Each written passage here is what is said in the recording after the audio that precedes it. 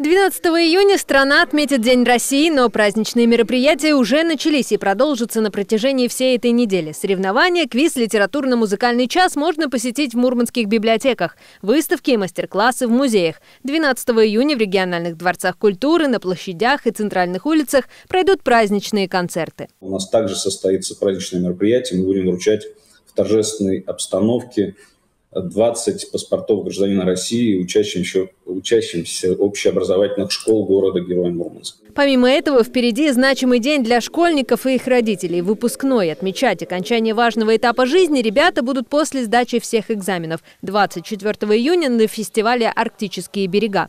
Он пройдет на Поморской набережной Колы. Основная часть мероприятия – интро-шоу, зажжение маяка, флешмоб и дискотека. Специальным гостем станет певица Мария Краймбрери. А, ряд фотозон 3D-формата Э, интерактивные площадки. Это гигантская дженга, э, где можно будет выложить название школ Мурманской области. Каждый выпускник может подойти, найти свою, свою школу. А также показательное выступление хип-хоп коллективов э, и мастер-класс для всех желающих научиться искусству диджейнга. Поднимать настроение и создавать атмосферу выпускникам будут Женя Искандарова и Женя Синяков, резиденты Comedy Club. Татьяна Куфенко, Элина Шагенова, Андрей Бричко, ТВ-21+.